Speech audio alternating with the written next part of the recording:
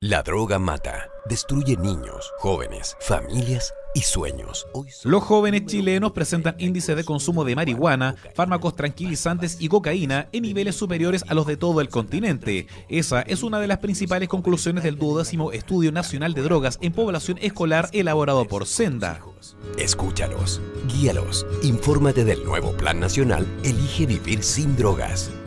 Es en este contexto que la directora provincial de Educación de Mayeco habló sobre esta preocupante situación en que en diversos establecimientos educacionales se les ha encontrado droga a los estudiantes. Efectivamente hemos recibido información de establecimientos educacionales de las diversas comunas de la provincia en la que nos reportan eh, que hay eh, consumo de drogas y eh, tanto dentro como fuera de los establecimientos educacionales.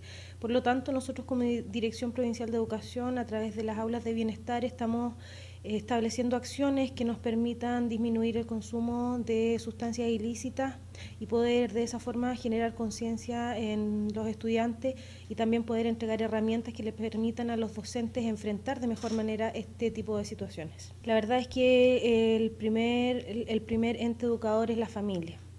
Por lo tanto, debemos ser nosotros como padres quienes estemos alerta eh, sobre diversas eh, circunstancias en las que llegan nuestros hijos a las casas, porque es allí donde nosotros podemos focalizar y comprender, diagnosticar a tiempo que nuestros hijos están haciendo consumo de algún tipo de sustancia.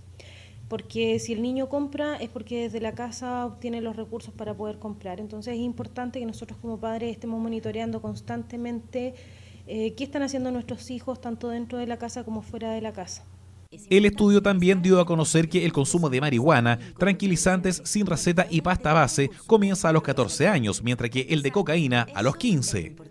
De modo general, el consumo entre los jóvenes aumentó en todas las sustancias, la marihuana con un 30,9% de consumo, los fármacos tranquilizantes con un 8,6%, el tabaco un 3,4%, la cocaína en 3% y por último, la pasta base en un 1,4%. Combatir con fuerza el narcotráfico y prevenir que niños y jóvenes caigan en la droga.